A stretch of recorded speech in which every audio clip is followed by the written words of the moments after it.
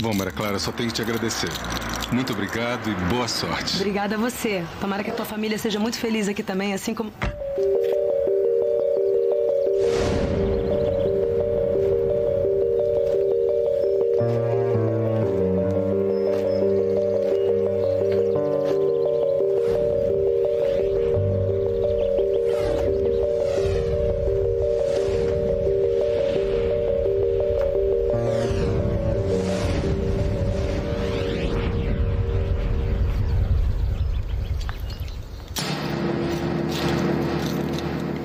Você não achou mesmo que era esse morto de fome que ia morar aqui?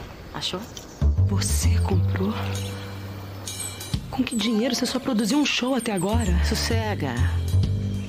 O cheque dele é quente. Cheque administrativo garantido. E as promissórias todas vão ser pagas sem atraso nenhum.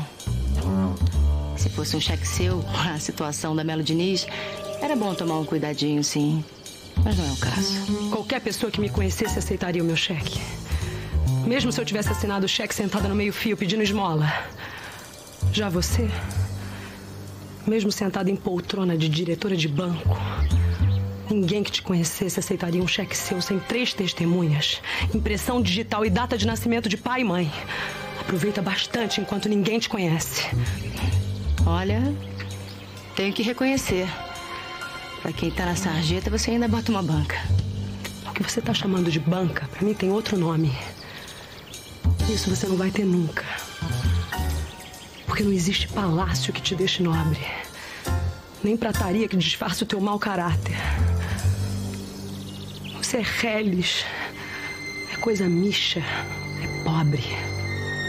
E a tua pobreza vem de dentro. Você vai levar onde for.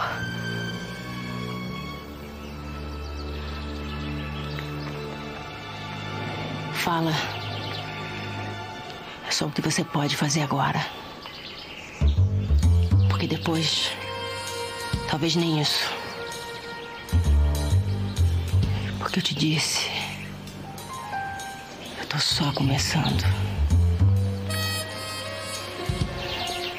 Tem muita bala na agulha, Maria Clara. Você ainda tem muito para perder. Coisas que ainda nem sabe que tem.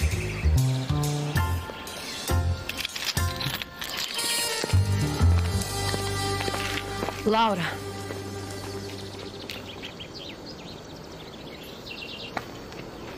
Fala logo, eu tô com pressa. Só um último pedido. Pedido? Cadê a banca? Avisa os vizinhos. Avisar o quê? Que você é a dona. Eles podem chamar a polícia, pensar que é invasão. Ia ser chato. Melhor avisar.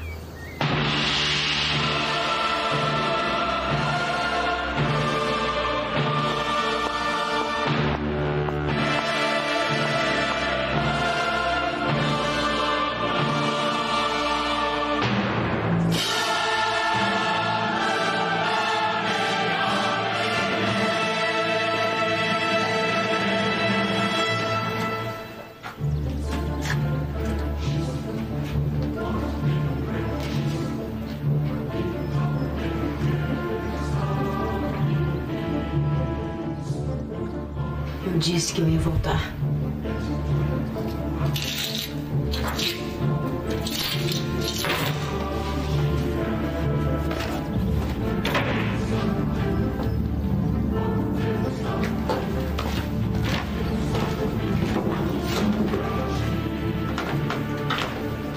Coisa horrorosa. Nunca gostei disso.